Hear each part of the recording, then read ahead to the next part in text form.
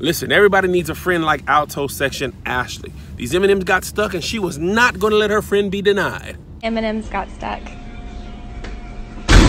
Oh, there's a heavy anointing in the atmosphere. See, you got to be willing to fight through something if you want your blessing. You got to square with a vending machine. So you got to shake the foundation of praise. Now, when I want them M&Ms, the devil, see, the devil doesn't want you to have your treat, huh?